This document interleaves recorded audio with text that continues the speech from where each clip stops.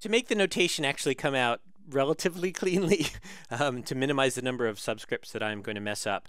Uh, we're going to introduce a notation called uh, operator notation, functional notation, and we're going to introduce in particular a Bellman operator. So Bellman operator is going to be a a mapping, a transformation from value functions to value functions. Like you give me a Q function, the Bellman operator will give you back possibly a different Q function. Hmm, okay. Okay, so it's a function from Q functions to Q functions. Do the does this operator have to have any particularly interesting properties? We're going to prove that it has some properties, but first let's define what it is. Okay.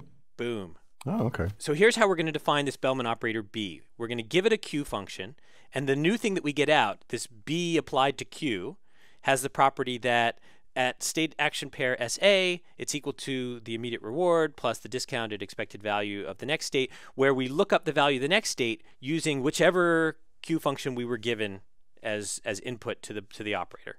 So Q goes in, BQ comes out. BQ is a new value function, a new Q function. Do you think you, you think you get that? I think I do. I guess I I don't know why we're going through this yet. Oh, uh, I'm not going to tell you that quite yet, but I just want to make sure that you get it by quizzing you. No.